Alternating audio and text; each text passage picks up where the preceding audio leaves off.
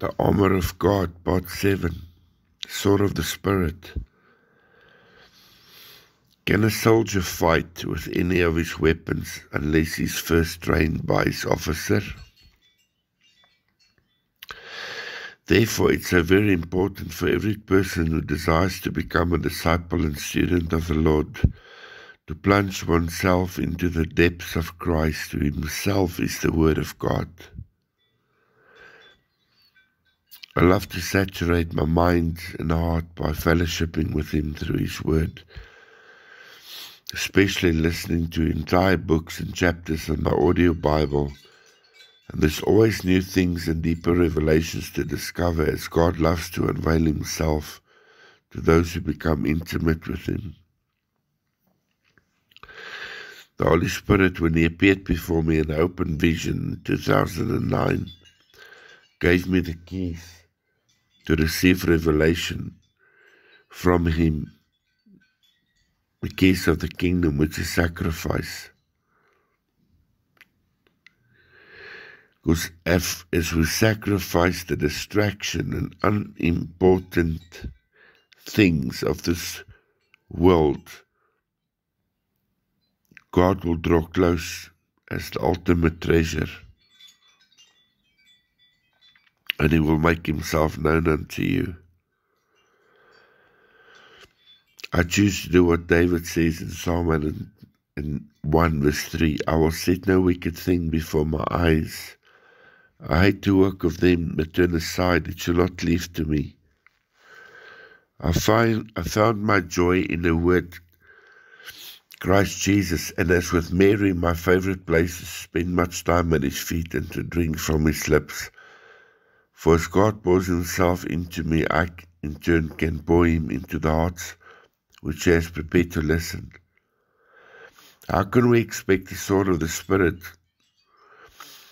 to circumcise and cut away from our hearts and minds the corruption and ungodliness of a sinful world unless we allow His word to saturate our hearts?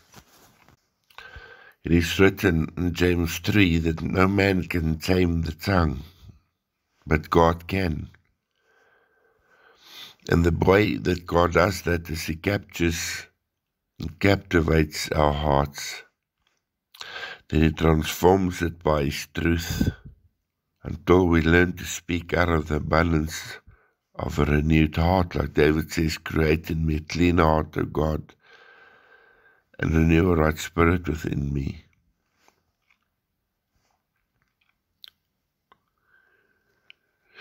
Did our chief in command not declare the following in Luke 6:45 that a good man out of the good treasure of his heart brings forth that which is good and an evil man out of the evil treasure of his heart brings forth that which is evil. For out of the abundance of the heart the mouth speaks Psalm 50:23 Whoever offers praises glorifies me, and to him that orders his conversation aright I will show the salvation of God. Psalm 19 verse 8 The statutes of the Lord are right, rejoicing the heart. The commandment of the Lord is pure, enlightening the eyes.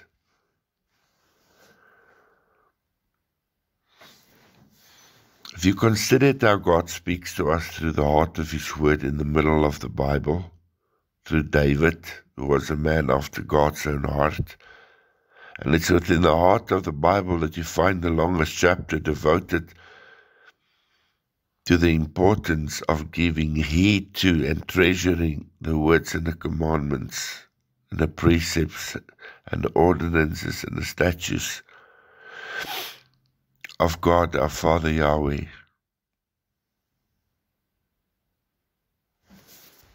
A few verses from Psalm 110 Blessed are the upright in the way who walks in the law of the Lord. The law of the Lord is that which proceeds from the mouth of God. What God speaks is righteousness when He gives us instruction. Blessed are they who keep His testimonies and seek Him with all their heart. They also do no iniquity, they walk in his ways, which means they live a repentant lifestyle because a sin, a transgression, and iniquity is not the same. Iniquity is unrepented sin. So we have to live daily sensitive to the Holy Spirit to keep our hearts and minds pure before God. And to learn to live according to His standard of righteousness. And righteousness is what God says. So iniquity is unrepented sin. Sin that begins in the heart, a transgression is reacted out, and if we don't repent that the blood can destroy it, it becomes iniquity.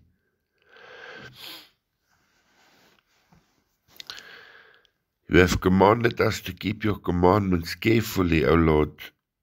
Oh, that my eyes were fixed to keep your statutes. Then I shall not be ashamed when I have respect your commandments. I will praise you with uprightness of heart when I have learned your righteous judgments. I will keep your statutes. Do not forsake me completely. With what shall a man, young man, cleanse his way? By taking heed according to your word. With all my heart have I sought you. Do not let me wander from your commandments. I have hidden your word in my heart that I might not sin against you. The sword of the Spirit is a weapon. And it's imperative that, that every child of God saturates themselves by spending much time in the Word of God. Like it is, says in Romans 12, verse 1 Don't be conformed to the pattern of this world, but be transformed by the renewing of your mind. We have to be renewed in our thought life to live in agreement with God. Jesus said in John 8, You shall know the truth, and the truth shall set you free. And His word, His sword, is our defense. Like it says in 2 Corinthians 10 3 to 5, casting down everything, every thought, and every argument which exalts itself against the knowledge of Christ. Because by spending time in the Word, it's like growing the blade and the size of your sword, of your weapon, of your arsenal.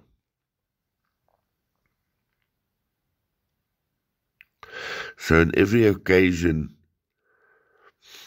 and as we sometimes experience various attacks, when the Holy Spirit will quicken to us verses that we have memorized to counterattack through the spoken word, which becomes a living sword by which the enemy is resisted and fought and defeated. The Spirit of the Lord, of the sword of the Spirit, is not used to cut each other to pieces, nor is it used to intimidate or manipulate, for Jesus Christ is not a legalistic butcher that cuts to kill us, but is a loving, merciful, gentle surgeon that cuts to heal us. His sword cuts away and removes deception in our hearts and minds. There are many today that abuses the word of God to their own destruction. The word of God is a sword and can destroy people if used wrongly. We are commanded in 2 Timothy 2 15 to study to show ourselves approved unto God, a workman that needs not to be ashamed, rightly dividing the word of truth. It's important to walk humbly when handling the word of God, and every child of God should Always remember the admonishment in James 3. My brethren, be not many teachers, but knowing that we shall receive the severer and stricter judgment.